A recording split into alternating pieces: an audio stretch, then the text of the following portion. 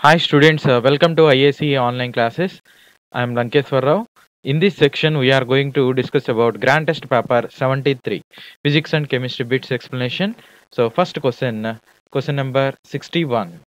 61. Byproduct obtained by soap industry is. Okay so soap ఇండస్ట్రీలో వచ్చేటువంటి by product ఏంటని అడుగుతున్నారు సో యాక్చువల్గా ఈ ప్రాసెస్ని ఏమంటారు అంటే ఇండస్ట్రియల్గా సఫోనిఫికేషన్ అంటారు saponification saponification okay so what is the name of industrial preparation method of soap అని అడిగారు అనుకోండి. ఓకే ఇండస్ట్రియల్గా ప్రిపేర్ చేసే సోప్ని ప్రిపేర్ చేసే ఆ మెథడ్ నేమ్ అంటారు సఫోనిఫికేషన్ అంటారు. ఓకే సో దీనిలో ఏం చేస్తారంటే ఫ్యాట్ ఆర్ ఆయిల్ అనేటువంటి వాటిని తీసుకుంటారు. ఫ్యాట్. ఓకే? సో ఫ్యాట్కి ఎలాంటి వాటిని యాడ్ చేస్తారు? బేసెస్ని కలుపుతారు. బేసెస్. సో డైల్యూట్ బేసెస్ ఇలాంటి వాటిని యాడ్ చేస్తారు. మనకి ఏం ఫామ్ అవుతుందంటే సోప్ అనేటువంటిది వస్తుంది. సోప్ ప్లస్ గ్లిజరాల్ అనేటువంటిది ఫామ్ అవుతుంది. Glycerol. Glycerol. Okay? Right. So ఇక్కడ మనకి అడిగింది ఏంటి? What is the by product by product obtained by soap industry అంటున్నాడు. సో క్వశ్చన్ నెంబర్ సిక్స్టీ వన్కి ఆన్సర్ ఏమవుతుంది? ఆప్షన్ బి అనమాట option B glycerol. Okay. So fat అంటే ఫ్యాట్ అంటే bulky chains of bulky chain of carboxylic యాసిడ్స్ని ఏమంటారంటే fat అంటారు. లేదంటే fatty carboxylic యాసిడ్స్నే ఫ్యాట్గా తీసుకుంటాం అనమాట ఓకే. సో వాటిని జస్ట్ లైక్ ఈ ఓరియంటెడ్లో ఉంటాయి. CH CH two right? O COR R dash. ఇలా తీసుకుందాం. నెక్స్ట్ ఇది సిహెచ్ అండి. So fatty acids of tri esters అని కూడా ప్రొనౌన్స్ చేస్తారు. What is the chemical name of fat అంటే ఫ్యాటీ యాసిడ్స్ ఆఫ్ ట్రై ఎస్టర్స్గా వీటిని కన్సిడర్ చేస్తాం. ఓకే సో ఇవన్నీ కూడా ఎస్టర్ గ్రూప్స్ అండి. ఆర్ సిఓ ఓఆర్ కనుక ఉంటే వాటిని ఎస్టర్ గ్రూప్గా చెప్తారు. ఇక్కడ ఆర్ డాష్ అంటున్నాను ఇక్కడ ఆర్ టూ అని చెప్తున్నాను. ఇవేంటంటే ఆల్కైల్ గ్రూప్స్ అనమాట వీటిని ఆల్కైల్ గ్రూప్స్ అంటారు. Alkyl groups. Okay? Right. So alkyl groups అంటే నథింగ్ బట్ సిహెచ్ త్రీ అని లేదంటే సి టూ హెచ్ ఫైవ్ అని మనకి ఉన్న నెంబర్ ఆఫ్ కార్బన్స్ని బేస్ చేసుకుని ఎన్నైనా ఉండొచ్చు. ఓకే? రైట్. సో ఇక్కడ బల్కీలో వాటిని కన్సిడర్ చేస్తాం అనమాట అంటే ఒక టెన్ అంతకంటే ఎక్కువ రేంజ్లో ఉంటాయి. రైట్. So CO right. ఇలా ఉంటుంది. దీన్ని ఫ్యాట్గా తీసుకుంటాం. నెక్స్ట్ ఇక్కడ బేస్ అంటే ఎన్ఏఓహెచ్ అనేటువంటి వాటిని కేఓహెచ్ ఇలాంటి వాటిలో ఏదైనా కానీ యూజ్ చేస్తారు. ఓకే ఎన్ఏఓహెచ్ వాడచ్చు. ఎన్ఏఓహెచ్ అంటే ఏమంటాం? సోడియం హైడ్రాక్సైడ్ అంటాం. అదే కేఓహెచ్ అంటే పొటాషియం హైడ్రాక్సైడ్గా చెప్తాం. సోడియం హైడ్రాక్సైడ్ ఓకే దీన్ని ఏమంటారు? Sodium hydroxide sodium hydroxide sodium hydroxide okay so దీన్నే కాస్టిక్ షోడా అని కూడా అంటారు. Caustic soda caustic soda. Next అదే కేఓహెచ్ అనేది తీసుకుంటే దీన్ని కాస్టిక్ పొటాష్ అంటారు. Caustic potash. Caustic potash or or potassium hydroxide అంటారు. Potassium. Potassium hydroxide. Hydroxide. Okay. So RRB point of వ్యూలో చాలా చాలా important one what is the chemical name of caustic soda or caustic potash అంటే ఈ ఓరియంటెడ్లో consider చేస్తాం. Potash అంటేనేమో caustic potash అంటే పొటాషియం హైడ్రాక్సైడ్ కాస్టిక్ షోడా అంటే సోడియం హైడ్రాక్సైడ్ ఓకే ఇక్కడ కేఓహెచ్ అనేటువంటి దాన్ని తీసుకుంటే మనం యూజ్ చేసేటువంటి టాయిలెట్ సోప్ అనేటువంటిది వస్తుంది. అదే ఎన్ఏఓహెచ్ ఇలాంటి వాటిని కనుక వాడామనుకోండి వచ్చేటువంటి వాటిని ఏమంటారంటే జనరల్గా డిటర్జెంట్స్గా కన్సిడర్ చేస్తాం. ఓకే రైట్ సో ఇక్కడ ఏం ఫామ్ అవుతుందంటే ఇక్కడ ఈ ఓరియంటెడ్లో ఇది డైల్యూట్ అంటే దీనికి కొంచెం ఎడిషనల్గా వాటర్ కూడా యాడ్ చేసి ఉంటుంది. సో అందుకనే ఇక్కడ హైడ్రాలసిస్ అనేది జరుగుతుంది. ఇక్కడ బ్రేక్ అనేది జరుగుతుంది. ఓకే ఇక్కడ బ్రేక్ జరిగినప్పుడు ఇది ఎలా డిసోసియేట్ అవుతుందంటే హెచ్ ప్లస్ గాను ఓహెచ్ మైనస్గా డిసోసియేట్ అయిపోతుంది. అంటే నీకు ఇక్కడ ఏం ఫామ్ అవుతాయి? హెచ్ ప్లస్ ఓహెచ్ మైనస్ అనేటువంటిది డిసైడ్ డిసోసియేట్ అవుతాయి. ఇక్కడ వచ్చినటువంటి హెచ్ ప్లస్లన్నీ ఇక్కడ యాడ్ అవుతాయి అనమాట ఓకే. సో ఇలా యాడ్ అయినప్పుడు ఓహెచ్ ఓహెచ్ ఓహెచ్ ఇలా వచ్చేస్తుంది. అంటే ఇక్కడ ఏం ఫామ్ అవుతుందండి? సిహెచ్ టూ ఓహెచ్ అనేటువంటిది నెక్స్ట్ సిహెచ్ ఓహెచ్ అనేటువంటిది నెక్స్ట్ సిహెచ్ టూ ఓహెచ్ అనేటువంటిది ఫామ్ అవుతుంది. దీన్ని ఏమంటారు అంటే గ్లిజరాల్ అంటారు glycerol. Okay. So by product in saponification process అనేటువంటిదిగా తీసుకుంటాం. నెక్స్ట్ దీంతో పాటు ఇంకేం ఫామ్ అవుతున్నాయి? So R dash CO O right. So right. ఇక్కడ ఓహెచ్ అనేటువంటిది ఏమవుతుందంటే, ఓహెచ్ అనేది దీంతో అటాక్ అవు ఆహ్, దీంతో రియాక్ట్ అవుతుందనమాట. అంటే ఇక్కడ ఏం ఫార్మ్ అవుతుంది? ఆర్ డాష్ సిఓ ఓహెచ్ అనేది ఫార్మ్ అవుతుంది. అయితే ఇక్కడ చూడండి పొటాషియం హైడ్రాక్సైడ్ కదా మనం తీసుకుంది. సో, ఈ పొటాషియం హైడ్రాక్సైడ్‌లో ఎలా డిసోసియేట్ అవుతుందంటే కే ప్లస్ గాను ఓహెచ్ మైనస్‌గా డిసోసియేట్ అవుతుంది. ఈ కే ప్లస్ అనేది ఈ హెచ్ ప్లేస్‌లో రీప్లేస్ అవుతుందనమాట. ఓకే. అంటే ఇక్కడున్న హెచ్, హెచ్ ప్లస్‌గా బయటికెళ్ళిపోయి హెచ్2ఓగా మారిపోతుంది. ఈ హెచ్ ప్లస్, ఈ ఓహెచ్ మైనస్ రెండు రియాక్ట్ అయిపోయి హెచ్ టూ అయిపోతాయి. సో, ఈ హెచ్ ప్లస్ బదులు ఎవరు వస్తారు కే ప్లస్ అనేది వస్తుంది. అంటే ఫైనల్‌గా నీకు ఇక్కడ ఏం ప్రోడక్ట్ వస్తుంది? కే కే అనేటువంటిది వస్తుందనమాట. Okay. R dash COO K అనేటువంటిది. Next R R two COO K అనేటువంటిది. Next R three CO OK అనేటువంటిది. అంటే కే అంటే పొటాషియం అన్నట్టు. ఇలాంటివి ఫామ్ అవుతా ఉంటాయి. నువ్వు పొటాషియం తీసుకుంటే పొటాషియం వస్తుంది. సోడియం తీసుకుంటే సోడియం. సో, దీన్ని ఏమంటారు అంటే సపోనిఫికేషన్ ప్రాసెస్ అంటారు. Process name important. నెక్స్ట్ దానిలో ఏం వాడుతున్నారు అనేటువంటిది వచ్చేటువంటి by product. Okay. So, question number sixty one K answer వచ్చి ఆప్షన్ బి. నెక్స్ట్ క్వశ్చన్ చూడండి. Question number 62 lead pencils contains okay. So, lead pencils, lead పెన్సిల్స్‌లో lead percentage ఎంత అనేది ఎక్కువగా వచ్చినటువంటి ప్రీవియస్ బిట్ అనమాట. సో, ఆర్ఆర్బిలో ఎక్కువగా రిపీటెడ్‌గా వచ్చేటువంటి బిట్స్ ఇవి. The percentage of lead in lead pencils అంటాడు. ఎంతుంటుంది? 0 ఉంటుందనమాట. So, the percentage of silver in silver paints అంటాడు. జీరో సో, ఇలాంటివి రెగ్యులర్‌గా వస్తూ ఉంటాయి. అయితే ఇంతకీ మరి ఎందుకని వీటిని లెడ్ పెన్సిల్స్ అంటారు? సో, లెడ్ అనేది తీసుకుంటే చాలా బ్లాక్‌గా ఉంటుంది. ఓకే. సో, ఇది ఎంతైతే బ్లాక్‌గా ఉంటుందో ఈ పెన్సిల్‌తో నువ్వు రాసినప్పుడు కూడా అంతే బ్లాక్‌నెస్‌ని ఎమిట్ చేస్తుందనేటువంటి ఉద్దేశంతో okay. So, just lead pencil అంటారే తప్ప లెడ్ పెన్సిల్స్‌లో లెడ్ అనేటువంటిది ఉండదు. మరి ఏముంటుంది లెడ్ పెన్సిల్స్‌లో? గ్రాఫైట్ అనేటువంటిది ఉంటుంది. Graphite, graphite okay. So, graphite plus ఏం యాడ్ చేస్తారు? క్లే అనేటువంటిది కలుపుతారు. సో, ఇదే లెడ్ పెన్సిల్స్‌లో ఉండేటువంటి కెమికల్ కాంపోజిషన్ అనమాట. సో, ఇక్కడ ఇచ్చినటువంటి దానికి క్వెషన్ నంబర్ 62కి ఆన్సర్ ఏమని చెప్తాం? Option D graphite. గ్రాఫైట్ అనేటువంటి వాటిని తీసుకుంటారు. ఓకేనా?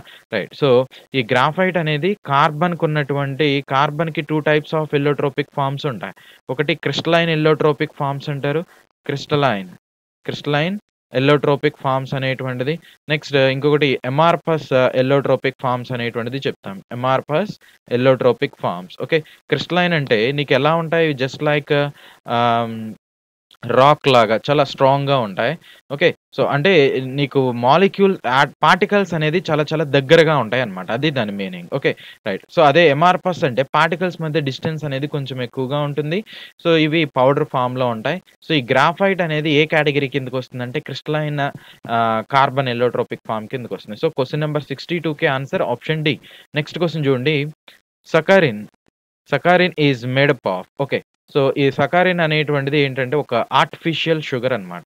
Artificial, artificial sugar, artificial sugar. Okay. So, మనకి నేచురల్ షుగర్ తీసుకుంటే సూక్రోజ్, గ్లూకోజ్, ఫ్రక్టోజ్ ఇలాంటి వాటిని చెప్తాం. సో, ఈ ఆర్టిఫిషియల్ షుగర్స్ కనుక తీసుకుంటే సకారిన్ అని, ఆస్పర్టేమ్ అని, ఆస్పర్టేమ్, ఆస్పర్టేమ్, ఆలిటేమ్ ఇలాంటి వాటిని నెంబర్ ఆఫ్ కంటెంట్స్ ఉన్నాయి. సో, న్యాచురల్ షుగర్స్ తీసుకుంటే ఎక్కువ ఎనర్జీ అనేది వస్తుంది. బట్ ఆర్టిఫిషియల్ షుగర్స్ కనుక తీసుకుంటే ఇది జీరో క్యాలరీ ఫుడ్ అనమాట. ఓకే. సో, నువ్వు ఏ ఫామ్లో అయితే తీసుకున్నావో అదే ఫామ్లో యూరిన్ ఆర్ స్వెట్ ఫామ్లో బయటికి ఎక్స్‌క్రీట్ అయిపోతుంది. ఓకే. ఇక్కడ ఈ సకారిన్ అనేది ఒక artificial sugar. Sugar free tablets ఇలాంటి వాటిని తయారు చేయడానికి దీన్ని వాడతారు. అయితే ఈ సకారిని ఎలా తయారు చేస్తున్నారు? దేని నుంచి తయారు చేస్తారని అడుగుతున్నారు. సో, టోలిన్ అనేటువంటి దాని నుంచి తయారు చేస్తారు. ఆప్షన్ ఏ టోలిన్ అనమాట. యాక్చువల్‌గా టోలిన్ అనేది జస్ట్ లైక్ ఈ ఓరియంటెడ్లో ఉంటుంది. బెంజిన్ రింగ్ మీద ఒక మెథైల్ గ్రూప్ గనక ఉంటే సీహెచ్3 గ్రూప్ గనక ఉంటే దాన్ని ఏమంటారు టోలిన్ అంటారు. ఓకే. సో, ఈ టోలిన్, ఈ టోలిన్ ఇలాంటి కెమికల్‌తో రియాక్ట్ అవుతుంది. సో, సల్ఫనైల్ క్లోరైడ్ ఇలాంటి వాటితో రియాక్ట్ అయిపోయి ఇదిగోండి ఇక్కడ ఏమున్నాయి? హైడ్రోజన్స్ అనేటువంటిది ఉన్నట్టు మీనింగ్. ఓకే. ఇక్కడ హైడ్రోజన్స్ ఉంటాయి. సో, ఇక్కడున్న ఒక హైడ్రోజన్ ఇక్కడ ఉన్నటువంటి ఈ కెమికల్‌ని మనం ఇలా రాయొచ్చు. సిఎల్ఎస్ఓ ఓ ఓహెచ్ అనేది. సో, ఇక్కడున్న హెచ్, ఇక్కడున్న ఓహెచ్ రెండు ఎలా బయటికి పోతాయి? వాటర్ లాగా బయటికి పోతాయి. అంటే ఇంకా మిగిలింది ఏముంది ఇక్కడ? ఎస్ఓ2 సీఎల్ అనేటువంటిది ఉంది. ఈ గ్రూప్ వెళ్ళి ఇక్కడ యాడ్ అవుతుందన్నమాట. అంటే ఫైనల్‌గా నీకు ఇలా వస్తుంది. Right. So, CH three right. So SO two CL అనేది ఫామ్ అవుతుంది. ఇలాంటి గ్రూప్‌ని ఏమంటారు అంటే సిహెచ్ త్రీ ఇలాంటి గ్రూప్‌ని ఏమంటారు అంటే ఎలక్ట్రాన్ రిలీజింగ్ గ్రూప్‌గా చెప్తారు. సో ఇలాంటి గ్రూప్స్ ఉన్నప్పుడు వస్తే ప్రొడక్ట్ అనేటువంటిది అంటే హైడ్రోజన్ ఇక్కడి నుంచి రిమూవ్ అవ్వచ్చు. లేదంటే ఇదిగోండి ఈ పొజిషన్ నుంచి అయినా రిమూవ్ అవ్వచ్చు. అంటే టూ ప్రొడక్ట్స్ అనేటువంటిది వస్తాయి. ఇదొకటి ఇంకొకటి వచ్చేసరికి ఈ ప్రొడక్ట్. సీహెచ్3 ఎస్ఓ2 సిఎల్ ఓకే. ఇది ఎలా వచ్చింది? ఇక్కడ నుంచి హైడ్రోజన్ అనేది పోతాయి. అంటే ఈ మాలిక్యూల్ నుంచి ఇది ఫార్మ్ అవ్వచ్చు. ఇది ఫార్మ్ అవ్వచ్చు. ఈ రెండిట్లో యాక్చువల్‌గా ఇది స్టేబుల్‌గా ఉంటుంది. బట్ ఇక్కడ ఈ కాంపౌండ్ మీద మనం ఎడిషనల్గా అమ్మోనియాతో చర్య పొందించామనుకోండి. అమ్మోనియా. అమ్మోనియాతో చర్య పొందిస్తే చూడండి ఇక్కడ ఉన్నటువంటి సిఎల్ ఇక్కడ దీనిలో ఉన్నటువంటి ఒక హెచ్ రెండు కూడా హెచ్‌సిఎల్‌గా బయటికి పోతాయి. సో ఇక్కడ నుంచి ఒక హెచ్ బయటికి పోతే ఇంకేం మిగిలింది ఇక్కడ ఎన్హెచ్ టూ గ్రూప్ మిగిలింది. ఇక్కడ నుంచి సిఎల్ పోతే ఇంకేం మిగిలింది? ఎస్ఓ2 గ్రూప్ మిగిలింది. అంటే ఇది ఎలా మారిపోతుంది? రైట్. సో సీహెచ్3 ఎస్ఓ2 ఎన్‌హెచ్2గా కన్వర్ట్ అవుతుంది.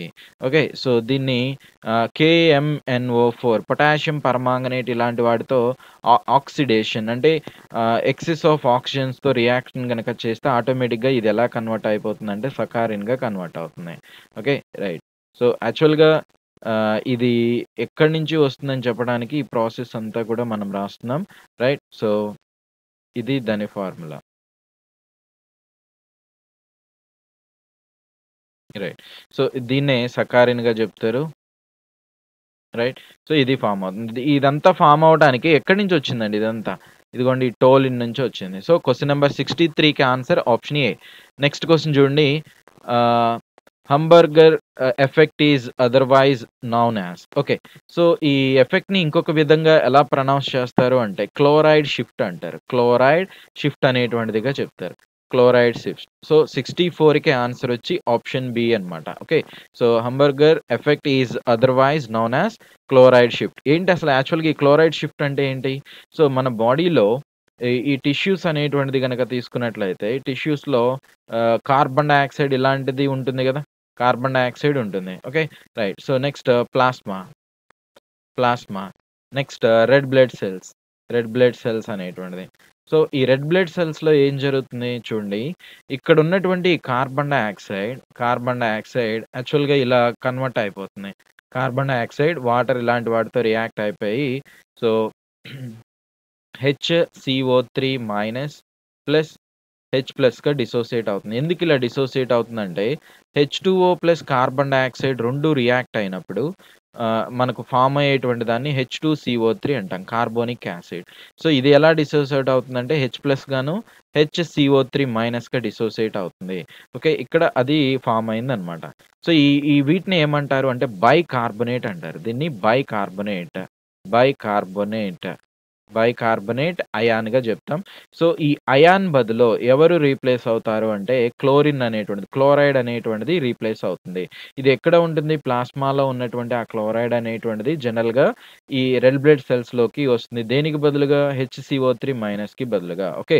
సో ఇల్ ఈ టైప్ ఆఫ్ షిఫ్ట్‌ని ఏమంటారు అంటే ఈ టైప్ ఆఫ్ ఎక్స్‌చేంజ్‌ని క్లోరైడ్ షిఫ్ట్‌గా చెప్తారు.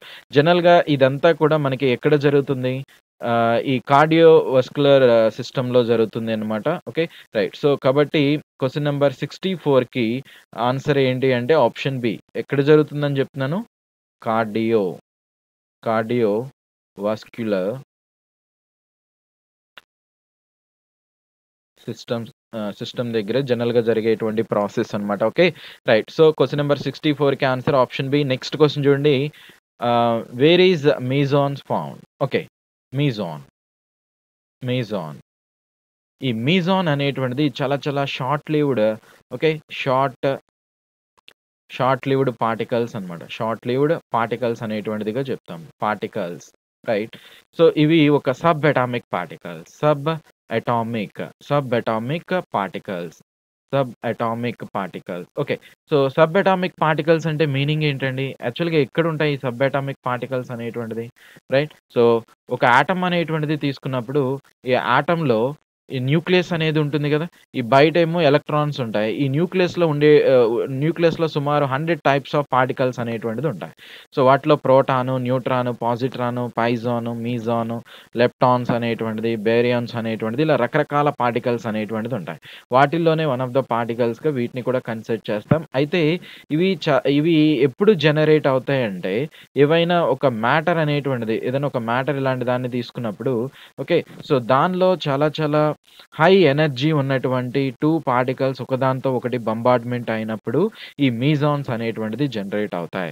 ఫర్ ఎగ్జాంపుల్ ఏదైనా ఒక న్యూట్రాన్‌ని, ప్రోటాన్‌ని తీసుకుని బొంబార్డ్‌మెంట్ చేసామనుకోండి సో, హై ఎనర్జీ ఉన్నటువంటి వేవ్స్ అనేటువంటిది జనరేట్ అవుతాయి. వాటిల్లో ఈ మీజాన్స్ అనేటువంటిది ఉంటాయి. వీటికి పాజిటివ్ కానీ నెగిటివ్ కానీ లేదంటే న్యూట్రల్ చార్జ్ అనేటువంటిది ఉంటుంది. న్యూట్రల్ చార్జ్ అనేటువంటిది ఉంటాయి. సో, వీటి యొక్క మాస్ కనుక తీసుకుంటే మీజాన్ యొక్క మాస్ అనేది కనుక తీసుకున్నట్లయితే ఎస్పెషల్లీ అది దేనికి దేనికి మధ్యలో ఉంటుంది అంటే mass which is lies in between okay.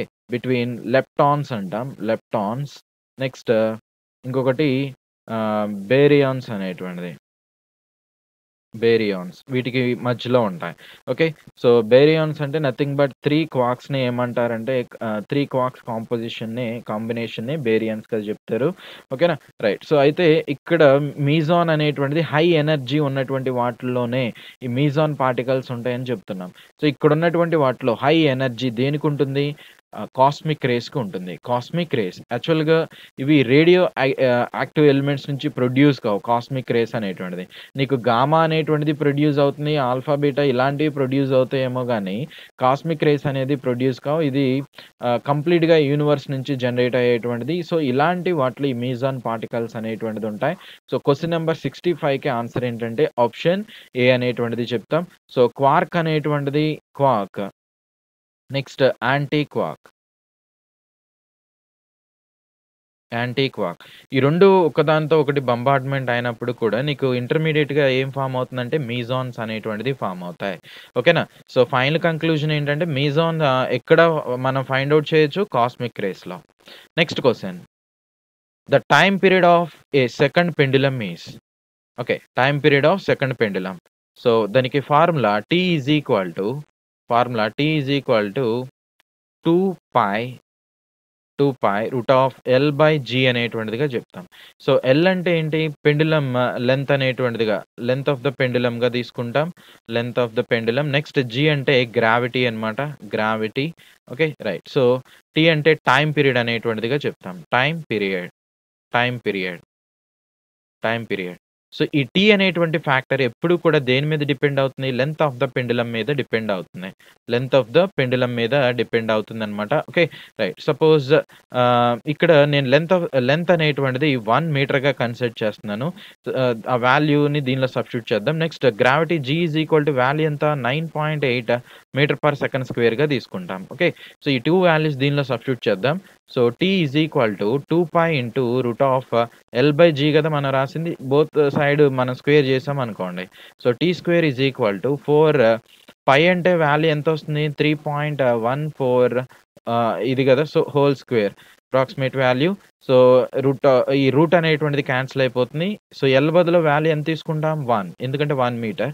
G అంటే ఎంత? 9.8 9.8 అనేది వస్తుంది. Okay. So, T square is equal to మీరు ఇది స్క్వేర్ చేశారనుకోండి three into 3 9 9 point something. So, అంటే ఈ వాల్యూ, ఈ వాల్యూ అప్రాక్సిమేట్‌లీ క్యాన్సిల్ అయిపోతాయి. ఇంకా ఎంత మిగిలింది? ఫోర్ అనేటువంటిది ఉంది. So, T is equal to ఏమవుతుంది? రూట్ ఆఫ్ ఫోర్ అంటే టూ అనేటువంటిదిగా వస్తుంది. ఓకే. అంటే టూ సెకండ్స్‌గా కన్సిడర్ చేస్తాం.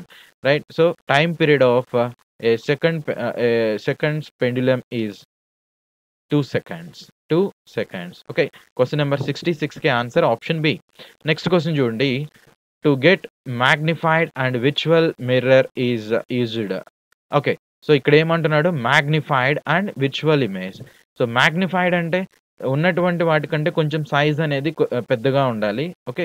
సైజ్ అనేది ఇంక్రీజ్ అవ్వాలి. నెక్స్ట్ విర్చువల్ ఇమేజ్ అనేటువంటిది అంటున్నాడు. విచువల్ ఇమేజ్ అంటే విచువల్ ఆర్ ఎరిక్టెడ్ ఇమేజ్ అంటే నీకు ఎలా అయితే స్ట్రక్చర్ అనేటువంటిది ఉంటుందో అదే ఓరియంటెడ్లో ఉండాలి. ఫర్ ఎగ్జాంపుల్ ఒక మిర్రర్ అనేటువంటిది తీసుకుందాం. రైట్. సో ఇలా ఒక కాన్కేవ్ మిర్రర్ అనేటువంటిది అన్ని తీసుకున్నాం అనుకోండి. ఈ టైప్ ఆఫ్ కంటెంట్ అనేది ఎస్పెషల్లీ కాన్కేవ్ మిర్రర్‌లోనే వస్తున్నాయి. సో, దీన్ని ఫోకల్ పాయింట్ ఎఫ్‌గా కన్సిడర్ చేద్దాం. ఇది సెంట్రాయిడ్ అనమాట సి అనేటువంటిది. ఓకే. రైట్. సో, ఒక ఆబ్జెక్ట్ అనేది ఫర్ ఎగ్జాంపుల్ మనం ఇక్కడ గనక పెట్టామనుకోండి. ఇక్కడ ఈ ఉన్నటువంటి ఈ మిర్రర్‌కి నెక్స్ట్ ఆ ఫోకల్ పాయింట్‌కి మధ్యలో గనక పెడితే ఓకే. సో, నీకు వచ్చేటువంటి ఇమేజ్ ఎప్పుడు కూడా ఎలా వస్తుందంటే, ఇలా కొంచెం ఉన్నటువంటి దానికంటే పెద్దగా వస్తుంది. So, erected image or virtual image అనేటువంటిది ఫామ్ అవుతుంది. అంటే సో, నీకు ఇలా టాప్ ఏ అంటే ఇన్వర్స్‌గా రాకుండా నార్మల్‌గా అన్నమాట. ఇలా టాప్‌గా ఉన్నటువంటి ఫేస్ టాప్‌గానే ఉంటుంది. బాటమ్ ఫేజ్ అనేది బాటమ్ ఫేజ్లోనే ఉంటుంది. ఇన్వర్టెడ్ కాకుండా నార్మల్‌గా వస్తుంది అనమాట ఓకే. సో, ఇది ఆబ్జెక్ట్. ఆబ్జెక్ట్. రైట్. ఇది వచ్చేసరికి ఆ విర్చువల్ ఇమేజ్ అనమాట విర్చువల్ ఇమేజ్. విర్చువల్ ఇమేజ్ అనేటువంటిదిగా చెప్తాం. Okay.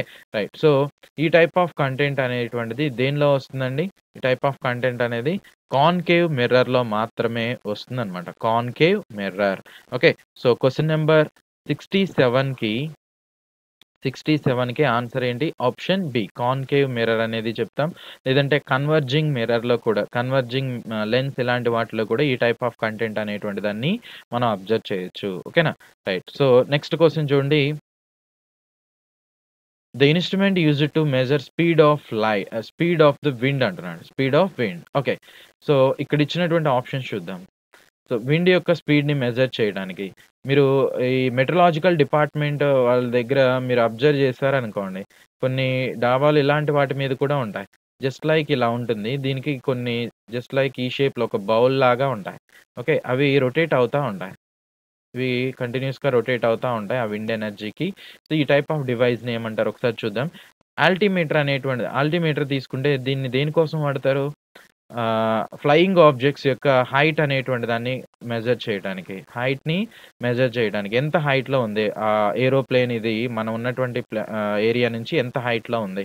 So, aeroplanes or flying object. Flying objects. Flying objects యొక్క హైట్‌ని మెజర్ చేయడానికి యూజ్ చేస్తారు. Next anemometer. ఎస్ ఈ ఎనిమోమీటర్‌నే వాడతారనమాట దీనికి స్పీడ్ ఆఫ్ ద విండ్‌ని క్యాలిక్యులేట్ చేయడానికి. స్పీడ్ ఆఫ్ ద విండ్‌ని క్యాలిక్యులేట్ చేయడానికి ఎనిమోమీటర్ అనేటువంటి దాన్ని వాడతారు. నెక్స్ట్ ఈ క్రోనోమీటర్ అనేటువంటిది దేనికోసం యూజ్ చేస్తారు ఈ క్రోనోమీటర్? సో, ఇది దీని యొక్క అడ్వాంటేజ్ ఏంటంటే ఎస్పెషల్లీ టైం ఇలాంటి వాటిని టైమ్ ఏన్షియంట్ టైంలో టైంని మెజర్ చేయడానికి ఈ క్రోనోమీటర్ అనేటువంటి దాన్ని యూజ్ చేసేవాళ్ళు. ఓకే. సో, ఇది ఒక పోర్టబుల్ టైం కీపింగ్ డివైస్ అన్నమాట. యాక్యురసీ కూడా చాలా ఎక్కువగా ఉంటుంది. ఇలాంటి వాటిని ఏన్షియంట్ టైంలో వాడేవాళ్ళు. అయితే ఇక్కడ మనల్ని అడుగుతున్నటువంటి కాన్సెప్ట్ ఏంటంటే speed of the wind is used to speed of the wind is measured by which instrument? Which instrument? Anemometer. Option B అనేటువంటి దాన్ని తీసుకుంటాం. సో, నెక్స్ట్ క్వశ్చన్ చూడండి. The nature of fuse wire. The nature of fuse wire. Okay. So, యాక్చువల్‌గా fuse అనేటువంటిది ఎందుకు use చేయాలి fuse వైర్‌ని? So, మన ఇంట్లోకి బట్ వచ్చేటువంటి కరెంట్ ఏదైతే ఉందో సో, వోల్టేజ్ కనుక దానికి ఎక్కువ అయిపోయిందనుకోండి. హై వోల్టేజ్ కనుక వస్తే హై వోల్టేజ్ అనేది కనుక వస్తే ఈ ఎలక్ట్రానిక్ గాడ్జెట్స్ అనేటువంటిది ఏమైపోతాయి? ఎలక్ట్రానిక్ గాడ్జెట్స్ uh, అనేటువంటిది ఓకే. సో, ఆటోమేటిక్‌గా బ్రేక్ అయిపో అంటే స్మాష్ అయిపోవటం ఇలాంటిది జరుగుతూ ఉంటాయి. ఓకే. సో, అలా రాకుండా ఉండటానికి కరెంట్ నార్మల్‌గా ఉండటం కోసం ఏం చేస్తారు? ఈ ఫ్యూజ్ వైర్ అనేటువంటి దాన్ని వాడతారు. ఎక్సెస్ కరెంట్ కనుక వస్తే ఈ వైర్ ఏమైపోవాలి? ఈ ఫ్యూజ్ వైర్ అనేది ఆటోమేటిక్‌గా బ్రేక్ అయిపోవాలి. ఓకే. బ్రేక్ అయిపోవటం అంటే యాక్చువల్‌గా ఇది దేనితో చేస్తారండి ఫ్యూజ్ వైర్‌ని? లెడ్ ప్లస్ టిన్ అనేటువంటి దాన్ని ఉపయోగించి చేస్తారు. దీన్ని లెడ్ అంటాం. సో, ఎస్ఎన్‌ని టిన్ అని చెప్తాం. టిన్. ఈ టూ కాంబినేషన్‌ని ఏమంటారంటే సోల్డర్ అంటారు. ఈ సోల్డర్ అనేటువంటి ఒక అలాయ్‌తో తయారు చేస్తారనమాట ఫ్యూజ్ వైర్‌ని. యాక్చువల్‌గా వాడాల్సినటువంటిది ఇది. ఓకే. సో, um, అంటే ఐడియల్ ఫ్యూజ్ వైర్ తయారు చేయడానికి యూజ్ చేసేటువంటి కెమికల్ ఇది. ఓకే. రైట్. సో, ఇప్పుడు చూడండి కాన్సెప్ట్. ఇప్పుడు ఈ వైర్ అనేటువంటిది ఎక్కువ కరెంట్ వచ్చినప్పుడు ఏమైపోవాలి? బ్రేక్ అయిపోవాలి. ఇది ఏ స్టేట్‌లో ఉంది? సాలిడ్ స్టేట్‌లో ఉంది. సాలిడ్ అనేది బ్రేక్ అవటం అంటే లిక్విడ్‌గా మారిపోవాలి. సాలిడ్ లిక్విడ్‌గా మారటాన్ని ఏమంటారు? మెల్టింగ్ అంటారు. ఓకే. మెల్ట్ ఆర్ మెల్టింగ్ అనేటువంటిదిగా చెప్తారు. ఓకే. నీకు వెంటనే బ్రేక్ అయిపోవాలా? లేదంటే చాలా స్లోగా బ్రేక్ అవ్వాలా? కరెంట్ కరెంట్ కరెంట్ ఎక్కువొస్తే వెంటనే బ్రేక్ అయిపోవాలి. అలా బ్రేక్ అయితేనే ఎలక్ట్రానిక్ గాడ్జెట్స్ అనేది సేఫ్ సైడ్ ఉంటాయి. ఓకే. అంటే వెంటనే బ్రేక్ అవ్వాలి అంటే మెల్టింగ్ పాయింట్ ఎలా ఉండాలి? లో ఉండాలా? హై ఉండాలా? లో ఉండాలి. లో ఉంటే తొందరగా ఆ వైర్ అనేది తెగిపోతుంది. అదే హై ఉంటే చాలా స్లోగా తెగుతుందనమాట. ఓకే. రైట్. సో, అంటే మెల్టింగ్ పాయింట్ ఎప్పుడు కూడా ఎలా ఉండాలి? లో మెల్టింగ్ పాయింట్ ఉండాలి. Low melting point. Low melting point. Okay. Right. Next ఇక్కడ మీరు అబ్జర్వ్ చేయండి. మనం పంపిస్తున్నటువంటిది కరెంట్. కరెంట్ పాస్ అయినప్పుడు యాక్చువల్‌గా టూ థర్టీ ఓల్స్ అనేటువంటిది డొమెస్టిక్ పర్పస్‌లో యూజ్ చేసేటువంటి కరెంట్‌గా చెప్తాను. 222, 230 ఆ రేంజ్‌లో ఉంటుంది. ఓకే. సో, కరెంట్ అనేది మామూలుగా పాస్ అయినప్పుడు అంటే యాజ్ ఇట్ ఈస్‌గా అది అలా వెళ్ళిపోతుంది. కానీ ఎక్సెస్‌గా కరెంట్ అనేది వోల్టేజ్ కనుక పెరిగిపోయినప్పుడు ఏమైపోవాలి? హీట్‌గా మారాలి. కరెంట్ హీట్‌గా మారటాన్ని ఏమంటారు? కరెంట్ అనేటువంటిది ఇలా హీట్‌గా కన్వర్ట్ అయితే దాన్ని ఏమంటారు రెసిస్టెన్స్ అనేటువంటిదిగా చెప్తాం. Resistance. Okay. Resistance. Resistance, conductance రెండు కూడా ఎప్పుడు ఒకదానికొకటి ఎలా ఉంటాయి? ఇన్వర్స్‌లీ ప్రపోర్షనల్‌గా ఉంటాయి. Okay. So, resistance inversely proportional to conductance. Okay. So, ఇప్పుడు దీనికి ఎక్కువ రెసిస్టెన్స్ ఉందనుకోండి. ఎక్కువ వేడెక్కుతుంది అనమాట ఓకే. చాలా ఎక్కువ హీట్ అవుతుంది. ఎక్కువ హీట్ అయితే తొందరగా బ్రేక్ అయిపోతుంది. అంటే లో మెల్టింగ్ పాయింట్ ఉండాలి. ఇంకొకటి హై రెసిస్టెన్స్ అనేటువంటిది ఉండాలి. హై రెసిస్టెన్స్ అనేటువంటిది ఉండాలి. High resistance. ఓకే. ఇదంతా కూడా హై వోల్టేజ్ కరెంట్ వచ్చినప్పుడు. అంటే సో, ఫ్యూజ్ వైర్ అనేది ఎప్పుడు కూడా ఎలా ఉండాలి? What is the nature of fuse wire? High resistance and low melting point. ఇదే 100% కరెక్ట్ ఆన్సర్. సో, ఇవి కాకుండా ఇంకా ఎలాంటిది ఇచ్చినా కానీ అది రాంగే అనమాట. Okay. Right. So, question number sixty నైన్కి ఆన్సర్ వచ్చి ఆప్షన్ ఏ. రైట్. సో, ఇవి ఓవరాల్‌గా వీటిలో ఉన్నటువంటి concepts. Right. Thank you. Hi students welcome to IACE online classes. In this class we shall discuss uh, RRB NTPC English medium grant test number 73 biology questions. Let us see the first question. Amoebic dysentery is caused by A. Entamoeba histolytic B. Salmonella typhi C. E. coli D. Streptococcus pyogenes. So here amoebic dysentery. So this amoebic dysentery is a protozoan parasite disease. It is caused by Entamoeba histolytica. Entamoeba histolytica. Okay. So this Entamoeba histolytica belongs to the phylum Protozoa. Remember all protozoans are unicellular organisms. Okay. So there is a popular slogan Desha Bhasha Landu Telugu Lessa. That slogan was given by Sri Krishna Devarayala, the famous king.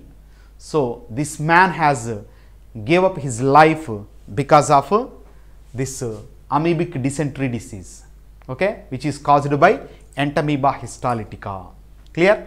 Then Salmonella typhi causes typhoid. E. coli is one of the important bacteria which is present in the intestine of human beings, and Streptococcus pyogenes causes a disease that affects mouth. Okay, so here answer for the question option A.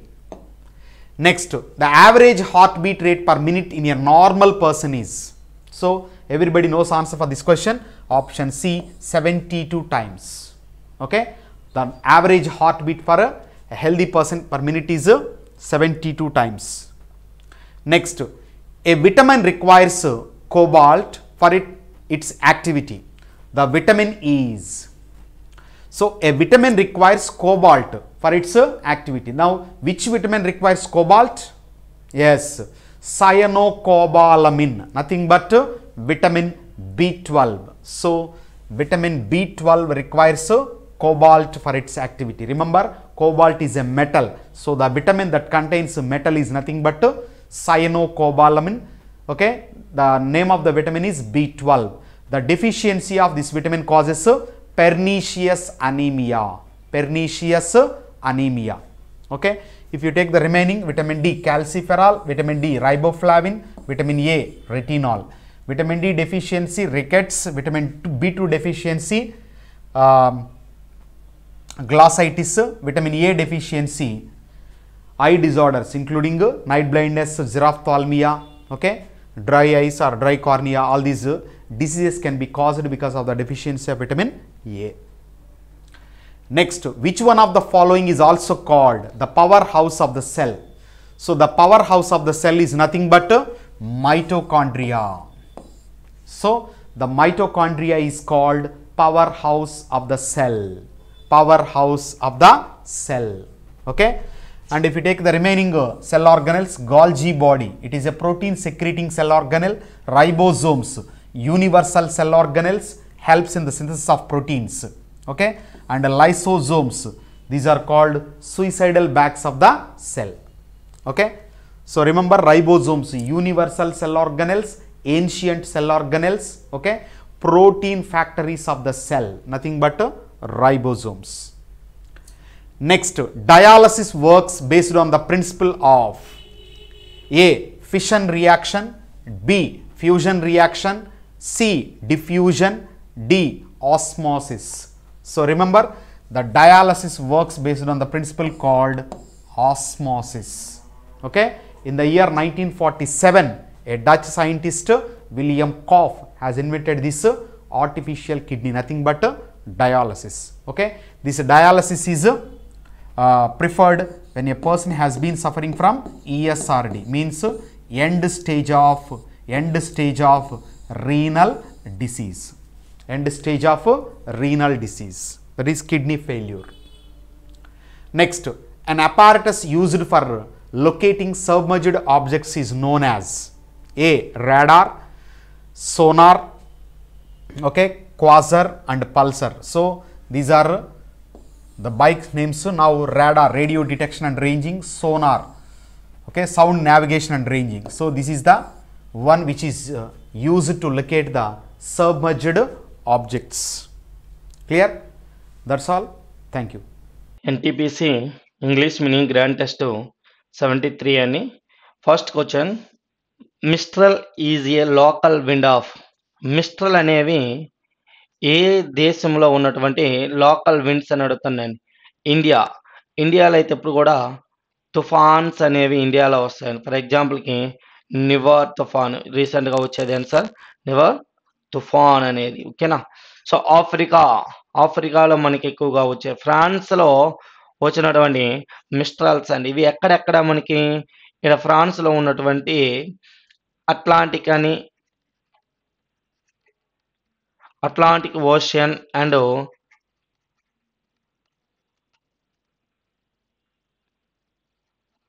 Mediterranean సీకి మధ్య ధర అంటే Atlantic మహాసముద్రానికి మధ్యధరా సముద్రానికి మధ్య ఇట్లా ఇది France ఇట్లా ఉంటే ఈ విధంగా ఫ్రాన్స్ ఇట్లా ఇలా మధ్యధరా సముద్రం ఉంటుందండి.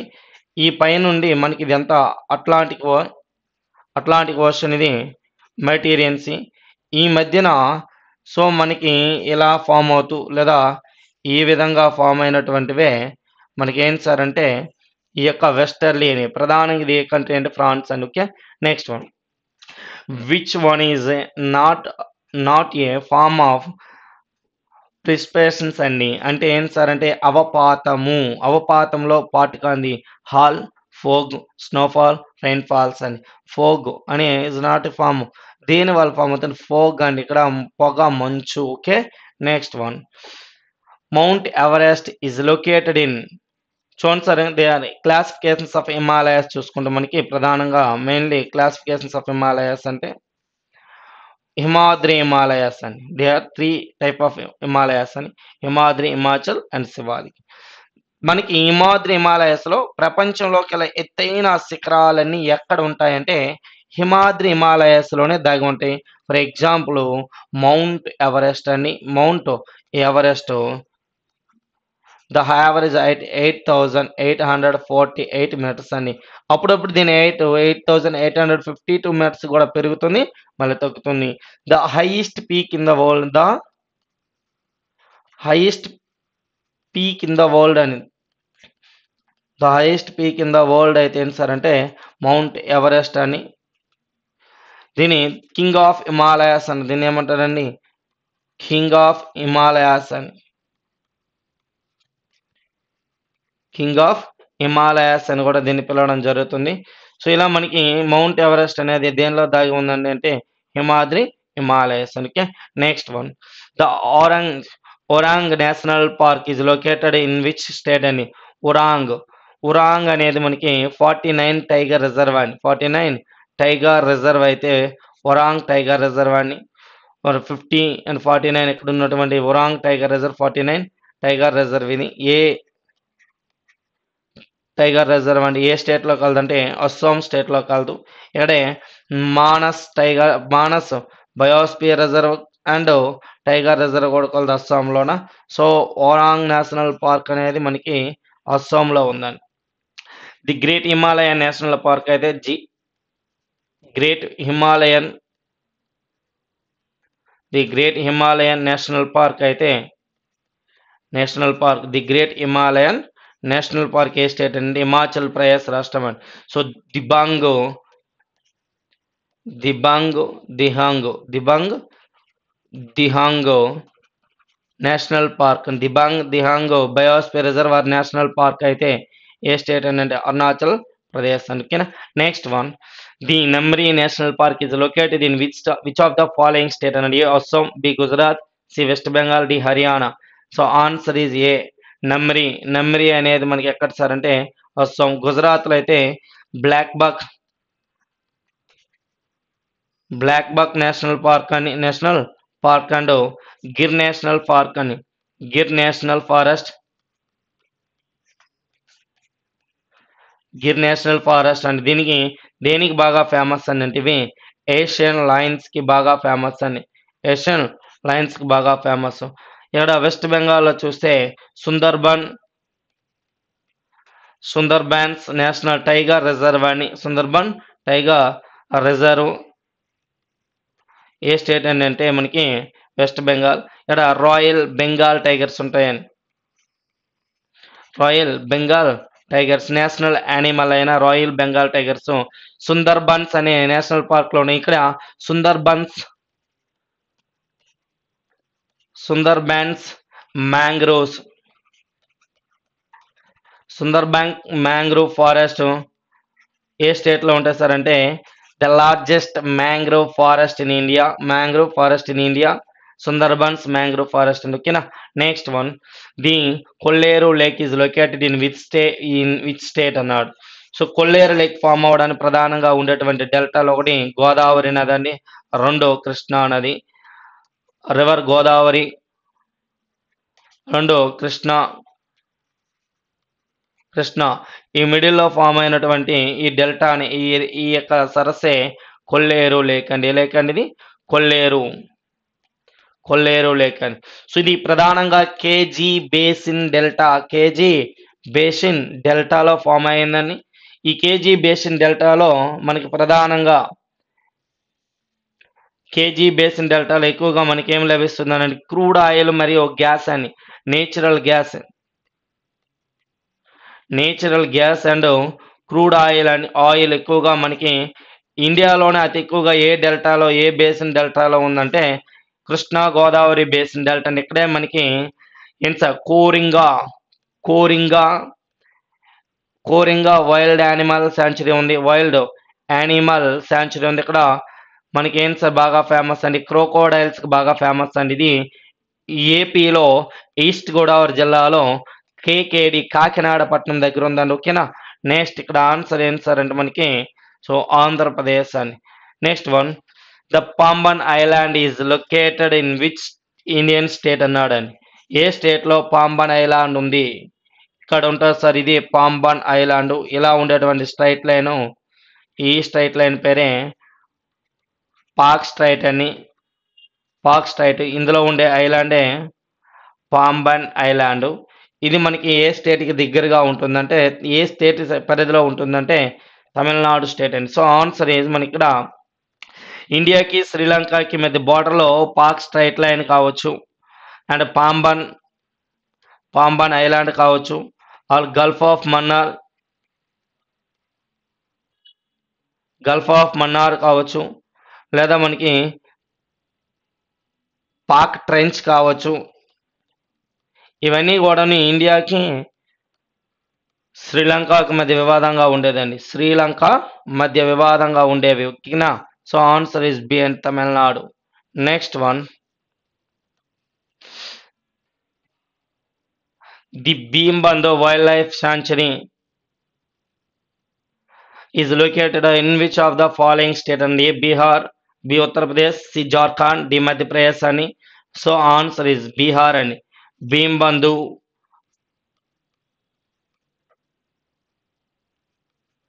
Gautam Buddha.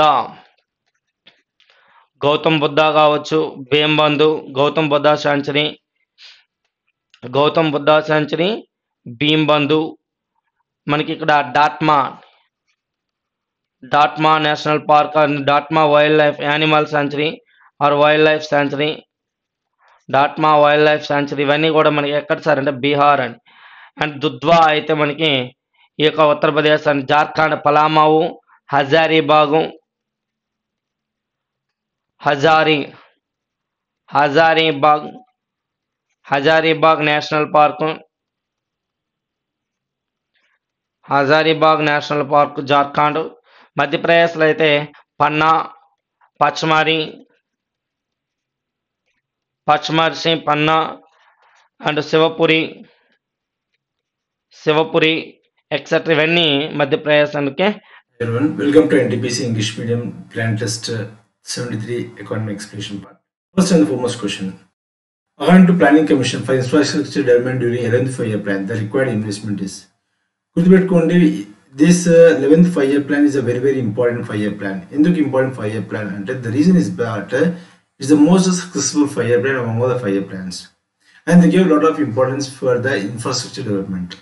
So the estimated expenditure with respect to the infrastructure development in the 11th fire plan is uh, 500 billion dollars. So this is the total investment that was expected uh, for 11th fire plan. And the 11th fire plan is the most successful fire plan and the third fire plan is the most failure fire plan in the State Planning Commission. Consider the following statement. Under flexible exchange rate system, balance of payments disagreement occurred by. Chudikra. Balance of payments. Balance of payments indeed. What exactly is the meaning of a balance of payments? and the exchange rate system, if it can rate India, R, A, T, rate. Okay. So here balance of payments is nothing but if there is a country A and if country A is doing a trade with different different countries Now, country should make the payments for the purchases that the country is doing. అవునా కదా? ఒకవేళ ఈ country ఏదైతే తెచ్చుకుంటుందో వేరే దేశాల నుండి ఏదైతే తెచ్చుకుంటుందో వాటికి పేమెంట్స్ చేయాలి. ఒకవేళ కంట్రీ పే చేయలేని పరిస్థితుల్లో ఉంటే because of no money in the current account no money in the capital account also దాన్ని మనం బ్యాలెన్స్ ఆఫ్ పేమెంట్స్ అంటాం. ఈ బ్యాలెన్స్ ఆఫ్ పేమెంట్స్ యొక్క ప్రాబ్లం వచ్చినప్పుడు మనం ఎలా కరెక్ట్ చేయొచ్చు అంటే ఒకటి whatever the payments your doing you doing in a foreign currency ఏ కరెన్సీలో చేస్తున్నాం మనము? ఫారిన్ కరెన్సీలో చేస్తున్నాం. సో ఇక ఫస్ట్ ఏమంటున్నారు అంటే change in the exchange rate system for example మనము డాలర్స్లో చేస్తున్నాం. ఓకేనా no? One dollar is equal to let's seventy two rupees అనుకుందాం. ఒకవేళ one dollar is seventy two rupees కాకుండా one dollar is equal to let's sixty five rupees అయిందనుకోండి మనకు కొద్దిగా ఈజీగా ఉంటుంది పేమెంట్ చేయడం. సో ఇది first change in the exchange system రెండోది వచ్చేది international flow of money and reserves అంటే మనకు వేరే వేరే దేశాల నుండి మన మన కంట్రీలోకి మనము మనీ ఫ్లో అయ్యాయి అనుకోండి. International for example SDRs special drawing rates అని చెప్పేసి ఐఎంఎఫ్ ద్వారా ఇలా మనకు డబ్బులు వస్తే ఆ డబ్బులతో కూడా మనం పేమెంట్ అనేది చేసుకోవచ్చు. కాబట్టి answer is nothing but both one and two is the right answer here okay so balance of payment వచ్చినప్పుడు either change in the exchange rates ద్వారా కానీ మనం ప్రాబ్లమ్ సాల్వ్ చేసుకోవచ్చు. ఇంకోటి international flow of money and reserves ద్వారా కూడా మనం problem solve చేసుకోవచ్చు. So this how you correct the disequilibrium అని అంటారు. When one of the following is which one of the following is not correct in the context of IS and LM framework of the theory of interest? Okay IS అంటే ఇక్కడ investment savings అండి. Investments savings and L అంటే liquidity M అంటే money supply so ఇక్కడ చూడండి. First option A ఏమంటున్నంటే it integrates money interest and income to general equilibrium model of product and money market okay అంటే బేసికల్గా అనేది మనీ పైన మనకి ఎంతైతే రేట్ ఆఫ్ ఇంట్రెస్ట్ ఉందో ఆ రేట్ ఆఫ్ ఇంట్రెస్ట్ని మన యొక్క ఉత్పత్తికి జీడిపికి లింక్ చేస్తుందని చెప్పేసి అంటున్నారు. Option one option B investment interest are two important variables in model అదే అంటున్నా అంటే ఇంట్రెస్ట్ రేట్ ఇన్వెస్ట్మెంట్ ఉదాహరణకి ఎలా అంటే ఫర్ ఎగ్జాంపుల్ ఇక్కడ మనకు ఇంట్రెస్ట్ రేట్ పెట్టుకుందామండి. ఇక్కడ మనము ఇన్వెస్ట్మెంట్ అనేది పెట్టుకుందాం. ఇన్వెస్ట్మెంట్ పెట్టుకుందాం. సో అకౌంట్ ఈ model IS and LM framework model వల్ల ఏంటంటే ఎప్పుడైతే ఇంట్రెస్ట్ రేట్ మనకు చాలా ఎక్కువగా ఉంటుందో అప్పుడు ఏమవుతుంది? పెట్టుబడి బాగా తగ్గిపోతుంది. కాబట్టి ఇంత ఉంది పెట్టుబడి. లేదు ఇంట్రెస్ట్ రేట్ బాగా తగ్గింది అనుకోండి పెట్టుబడి బాగా పెరుగుతుంది. అంటే మనకి ఎలా ఉంటుంది గ్రాఫ్ ఇలా వస్తుంది అనమాట ఇంట్రెస్ట్ రేట్ ఎక్కువ ఉన్నప్పుడు పెట్టుబడి తక్కువ ఉంటుంది. పెట్టు ఇంట్రెస్ట్ రేట్ తక్కువ ఉన్నప్పుడు పెట్టుబడి ఎక్కువగా ఉంటుంది. So it's downward sloping curve towards right so డెఫినెట్గా ఇది కూడా కరెక్టే the theories proposed by J R Hicks yes exactly J R Hicks ఈ థిరీ ప్రపోజ్ చేయడం జరిగింది నాకు it represents the money market equilibrium and LM represents the product market ఇది తప్పండి. ఈ రెండు వేరే వేరే మార్కెట్ ఈక్విలిబ్రియం చెప్పేస్తూ అంటున్నారు. There is not both of them L IS and LM అనేది ఒకటే కాన్సెప్ట్ మనం ఎక్స్ప్లెయిన్ చేస్తుంది. ఓకే ఏమి ఎక్స్ప్లెయిన్ చేస్తుంది అంటే ఇంట్రెస్ట్ రేట్స్ తక్కువగా ఉన్నప్పుడు ఇన్వెస్ట్మెంట్స్ ఎక్కువగా ఉంటాయి జీడిపి కూడా ఎక్కువగానే ఉంటుంది అని చెప్పి చెప్తుంది. అంటే interest is inversely proportional to investment or GDP అని చెప్పేసి మనకి మోడల్ చెప్తుంది. IS and LM framework model చెప్తుంది. కాబట్టి ఇక్కడ వచ్చేసరికి ఏమడుగుతున్నారు? Which of the following is not correct అంటున్నారు. నాట్ కరెక్ట్ అంటే ఆన్సర్ ఏంటి? Obviously option D is the right answer ఇక్కడ నాట్ కరెక్ట్ కాబట్టి. అంటే మూడు కరెక్టే D is not correct the shape of average selling cost curve is basically very simple అండి ఇక్కడ. ఏమంటున్నా అంటే average selling cost for example selling cost ఇక్కడ రాద్దాం. ప్రోడక్ట్స్ సోల్డ్ ఇక్కడ రాద్దాం. గుర్తుపెట్టి ఎప్పుడైనా సరే మనం ఏమైనా బిజినెస్ చేసినప్పుడు వస్తువులు అమ్మడానికి మనకి ఖర్చు అడ్వర్టైజ్మెంట్ కానీ వేరేది ఏదైనా హెచ్ఆర్ కానీ ఖర్చు లేకపోతే ఫైండింగ్ సమ్ కస్టమర్స్ కానీ ఇవన్నీ ఉంటాయి కదా. ఇనీషియల్గా మనము ఎక్కువ ఖర్చు పెట్టాల్సి వస్తుంది. అంటే సెల్లింగ్ కాస్ట్ ఎక్కువగా ఉంటుంది ప్రోడక్ట్స్ తక్కువగా అమ్ముడుపోతుంటుంది. కానీ ఎప్పుడైతే మనం మార్కెట్లోకి మన ప్రోడక్ట్ వెళ్తుంటే ఆ యొక్క అడ్వర్టైజ్మెంట్ పెరగడం వల్ల అంటే నోటి మాట ద్వారా కానీ లేకపోతే ఇంకో ఇంకో విధాల ద్వారా కానీ సెల్లింగ్ అనేది ఫాస్ట్ ఎక్కువైపోతుంది. అంటే రాను రాను మనకి ఏమవుతుంది ఈ సెల్లింగ్ కాస్ట్ అనేది తగ్గుతూ వస్తుంది. సో ఈ విధంగా మనకి ఏమవుతుందంటే ఇలా తగ్గుతూ తగ్గుతూ తగ్గుతూ వస్తుంది. ఓకే? అంటే ఇనీషియల్గా కొన్ని ప్రోడక్ట్స్ అమ్మడానికి మనకి ఎక్కువ ఖర్చు అవుతుంది. రాను రాను ప్రోడక్ట్స్ అమ్మడానికి మనకు యావరేజ్ సెల్లింగ్ కాస్ట్ ఏమవుతుంది తగ్గిపోతుంది. ఒక సాచురేషన్ పాయింట్ వచ్చిన తర్వాత ఇంకా ఎక్కువగా అమ్మాలి అనుకుంటే ప్రోడక్ట్స్ మళ్ళీ ఏమవుతుంది మళ్ళీ సెల్లింగ్ కాస్ట్ మళ్ళీ పెరుగుతుంది. మళ్ళీ సెల్లింగ్ కాస్ట్ అనేది మళ్ళీ పెరుగుతుంది. అంటే వస్తువులు ఇనీషియల్గా అమ్మడం కొద్ది కష్టం. ఓకే ఒక పాయింట్ వెళ్ళిన తర్వాత ఇంకా ఎక్కువ అమ్మాలన్న కొద్ది కష్టం. కాబట్టి ఇక్కడ మనకు ఏ కర్వ్ వస్తుందండి? మీరు చూసినట్లయితే యూ షేప్డ్ కర్వ్ అనేది మనకి ఇక్కడ కనిపిస్తూ ఉంది. So the right answer is nothing but U shaped average selling cost curve అనేది మనకి ఏంటి? U shaped which two countries have agreed the historic peace agreement namely Abraham accord Abraham accord పైన agree అయిన కంట్రీస్ ఇది గుర్తుపెట్టుకుని Abram accord రీసెంట్గా USA యొక్క మీడియేషన్తో ఇది ఈ యొక్క అగ్రిమెంట్ చేయబడ్డది. ఒకటి ఇజ్రాయిల్ ఇంకోటి వచ్చేసరికి యుఏఈ ఇంకోటి వచ్చేసరికి మనకు బహ్రెయిన్ ఏంటదండి? బహ్రెయిన్ ఈ మూడు దేశాలు కూడా మనకు ఈ అబ్రహం అకాడ్లో పాలు పంచుకున్నాయి సో ఇక్కడ మనకు ఆప్షన్స్లో యుఏఈ ఇరాన్ ఇచ్చారు. సో యుఏ కేటగిరీ ఇరాన్ తప్పు. ఇరాన్ అండ్ ఇరాక్ రెండు తప్పు. ఇజ్రాయెల్ యుఏఈ రెండు ఉన్నాయి ఇక్కడ. ఇజ్రాయెల్ ఉంది యుఏఈ ఉంది రెండు కరెక్టే ఇరాక్ అండ్ కువైట్ ఇక్కడ కువైట్ లేదు ఇరాక్ తప్పు. అంటే మీనింగ్ ఏంటి? Answer is UAE and Israel so దాంతోపాటు ఇంకో కంట్రీ ఏదండి? బైరెన్ కూడా ఉంది. సో ఇక్కడ ఇచ్చిన ఆప్షన్స్ ప్రకారం మాత్రం మనకు option C is the right answer how much pound worth innovation challenge for two thousand twenty was launch by UK government for India too చూడండి కదా innovation challenge fund of two thousand twenty ఇది బేసికల్గా ఏంటంటే UK and India ఇద్దరూ కలిసి okay ఒక greener ప్లాంట్ని ఒక బెస్ట్ ప్లాంట్ని తయారు చేయడానికి అదేవిధంగా మనకి కోవిడ్ నైన్టీన్ వల్ల వస్తున్నటువంటి ఛాలెంజెస్ని ఓవర్కమ్ చేయడానికి ముఖ్యంగా కర్ణాటక అండ్ మహారాష్ట్రలో ఉన్నటువంటి డేటాను సేకరించేసి దీని మీద వాళ్ళు వర్క్ చేస్తున్నారు. దీని ద్వారా దాదాపు ఒక twelve grands which are worth two point five okay రెండు లక్షల యాభై వేల యూరోస్ వర్త్ ట్వెల్వ్ గ్రాండ్స్ ఇచ్చే ఇచ్చే పనిలో వీళ్ళు ఉన్నారు. సో దీనికి మొత్తం అయ్యే వాళ్ళ పెడుతున్న పెట్టుబడి ఎంత అంటే త్రీ మిలియన్ యూరో పౌండ్స్ పెడుతున్నారన్నమాట ఓకే త్రీ మిలియన్ పౌండ్స్ పెట్టుబడి పెడుతున్నారు. ఒక్కొక్క గ్రాంట్ విలువ రెండున్నర లక్షల గ్రాంట్ విలువ అట్లా పన్నెండు గ్రాంట్లు వాళ్ళు ఇస్తున్నారు ఎవరైనా ప్రపోజల్ సబ్మిట్ చేసినప్పుడు వాళ్ళ దాని మీద రీసెర్చ్ ఇంట్రెస్ట్ ఉంది. ఆ రీసెర్చ్ మేము చేయగలము అని వాళ్ళ మీద నమ్మకం వెళ్తే వాళ్ళ యొక్క రీసెర్చ్ని వీళ్ళు ఏం చేస్తారంటే ఫండింగ్ చేస్తారు సో ఈ విధంగా మనకు యూకే అండ్ ఇండియా ఇద్దరు టైప్ అయి పార్ట్నర్షిప్లో ఈ యొక్క innovation challenge fund two thousand twenty ఏర్పాటు చేయడం జరిగింది. Which minister is renamed as minister of education మనకు అందరికీ తెలిసిన రీసెంట్గా ఎడ్యుకేషన్కి ఎక్కువ ఇంపార్టెన్స్ ఇవ్వాలి. న్యూ ఎడ్యుకేషన్ పాలసీ ఒకటి రావడం జరిగింది. దాంట్లో భాగంగా ministry of HRD human resource development ఏదైతే ఉందో దాన్ని ఎడ్యుకేషన్ మీద ఇంకా ఎక్కువ కాన్సన్ట్రేట్ చేయడానికి మినిస్ట్రీ ఆఫ్ ఎడ్యుకేషన్ లాగా దాన్ని మార్చడం జరిగింది. So the right answer is ministry of human resource development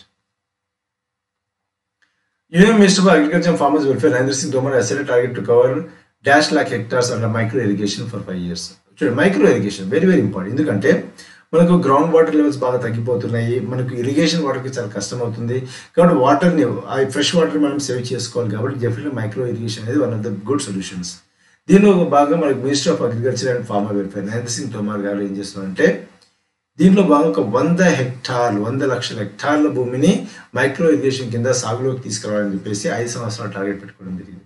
So the answer is hundred lakh hectares of land Mohammed six is the current king of which country options ఏమున్నాయండి? Saudi Arabia ఉంది Netherlands ఉంది Morocco ఉంది cute ఉంది. Answer is Morocco అండి. గుర్తుపెట్టుకోండి మొరక్కో యొక్క capital వచ్చేసరికి మనకు రబత్ అదేవిధంగా మొరక్కో అనే దేశం యొక్క కరెన్సీ ఓకే దిర్హం ఏంట కరెన్సీ అండి?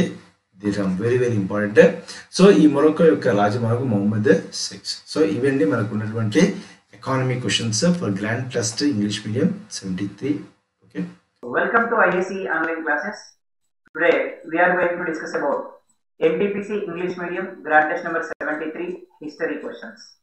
So here, first question, Dandi March took place during the period of which Governor General and Viceroy? So here, first option Lord Curzon. Lord Curzon is the Viceroy from 1899 to 1905. So he is the Viceroy of India, Mr. Lord Curzon. In the period of Lord Curzon in India, we appointed we appointed Thomas Raleigh Committee. Thomas Raleigh. So Thomas Raleigh Committee on universities. On universities. In 1904, Universities Act also introduced by the Lord Curzon. So at the same time, to make reforms in railways, to make reforms in railways, Robert Hooke Commission appointed by Lord Curzon. At the same time, to make reforms in police, police సంస్కరణలో భాగంగా Fraser Committee also appointed. Fraser Cons- Committee also appointed in the period of Lord Curzon. In 1905, in the period of Lord Curzon only, Bengal which is separated on the basis of communities into two parts, East Bengal as well as West Bengal. So this is not the answer. And Lord Minto is here. He is the Viceroy from 1905 to 1910. In the period of Lord Minto only, Vande Mataram movement and the Swadeshi movement is raised in India. Swadeshi movement కానీ Vande Mataram moment కానీ ఈయన కాలంలోనే వచ్చింది Lord Minto కాలంలోనే. So in nineteen nought nine on the basis of community so he given special constituencies for Muslims so that we are calling Lord Minto father of communal constituencies in India so this is also not answer mister Lord Reading so in the period of Lord Reading only Chauri Chaura unity is affected Chauri Chaura సంఘటన కూడా జరిగింది. Swaraj party started Swaraj party started by C R Das and Motilal Nehru in nineteen twenty three Then ICS examinations which are held in London at the same time.